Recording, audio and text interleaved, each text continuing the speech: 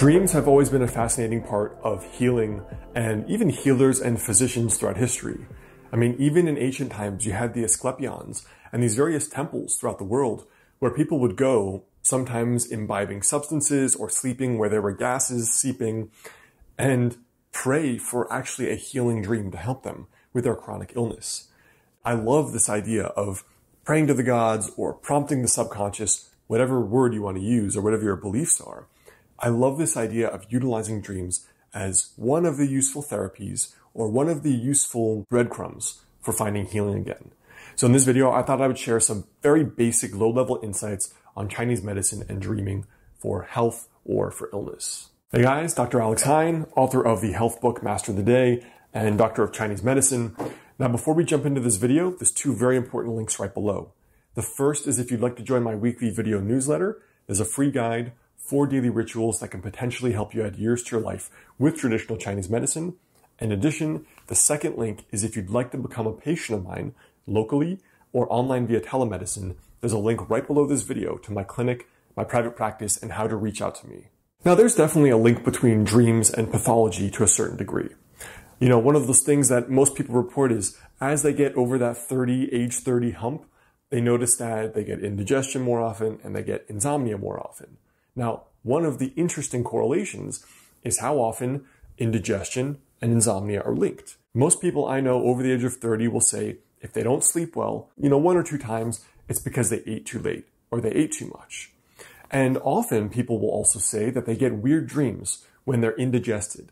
Like if they're getting too much reflux or just their stomach doesn't feel quite right, they'll have light sleep, vivid dreaming, or they'll just frequently wake up. I had a weird experience like this earlier in my life about 10 years ago, I was living in China, and at that time, I was with all these international students where we would study hard and we would party hard.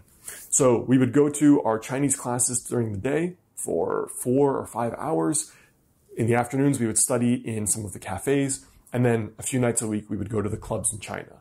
Now, I had this experience where any night I went out and had a few drinks with my friends and went to a Chinese club, I would get back really late, really tired, and I would always have dreams of tornadoes and jets flying and loud sounds and fires. And it was really weird to me because eventually I began to develop this association between having a few drinks, going to a club, and bizarre vivid dreaming. And I never understood why that was until many years later. But I thought I would jump into some of those associations that some ancient medical texts of ours and some ancient doctors talked about as general loose associations between dreams and specifically pathologies, right? We're not talking about in a Jungian uh, subconscious sense. We're talking about dreams can be indicative of certain pathologies in Chinese medicine, certain organs that are affected with pathologies. So let's talk about this link between dreams and certain organ pathologies. You know, in Chinese medicine, we have a couple different theories of organs and how they relate to emotions and seasons and pathologies. But one of the most interesting things is how these pathological emotions relate to actual dreams themselves. So I had a very vivid experience of this.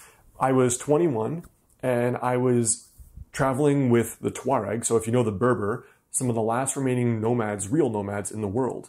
I was in southern Algeria on the border of Niger and I was doing a vision quest. And part of my vision quest was that these Tuareg nomads left me alone for five days on a sand dune in a little cave with no food for five days. So I was fasting and meditating and praying. And when you haven't eaten in five days, I'll tell you, the number of dreams I had about food. One night I had 12 dreams about food and thought I was going to become the next Martha Stewart. I was dreaming about the most obscure, bizarre dishes, trips I had to other far off lands, and the most incredible, tasty dishes I had.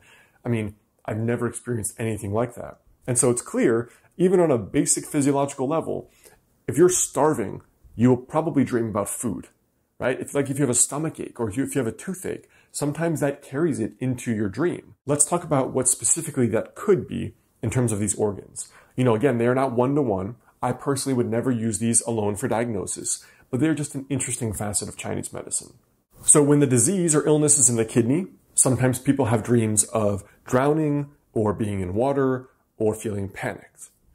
When the disease is related to the liver, sometimes people have dreams of anger or aggression, or they feel like you can't move, almost like if you're restrained or held down. If dreams are related to the spleen, this can be dreams of food, which is what I talked about, or even swamps or marshes. So the pathological factor associated with the spleen is dampness, so bloating and things like that, and phlegminess, etc. Now, regarding the heart, the dreams can be of fire or catastrophe or apocalyptic like scenarios. When it comes to dreams related to the lung, dreams of flying or soldiers or odd metal objects are things that were reported in these ancient texts. So some of these are more obvious than others. You know, like with the heart, in Chinese medicine, a lot of psycho-emotional or sleep disorders are associated, at least in some part, with the heart. Some people completely associate them with the heart. And so it's obvious that if there is a catastrophe or the world's ending, the heart being the emperor of the emotions, it's obvious that even if something is just imploding in your life, that it could be related to the heart, at least temporarily. So again, these are related to Chinese medicine's approach of always looking at what are the relationships between things. Never what is just this one thing. You know, just because your toe hurts, you're probably not going to have some dream about some weird, unrelated thing. But the point is that we look for the patterns because then anything can be anything if you're not looking for a pattern. But when you look for a pattern, you can see how things are often related and not that they are just these random disparate things, but that there actually is a link. And when you try to understand that link, it can help you understand the root cause of what's going on.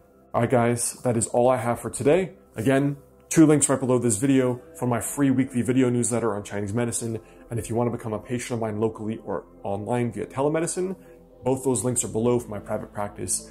And before you go, I have two other related videos for you here.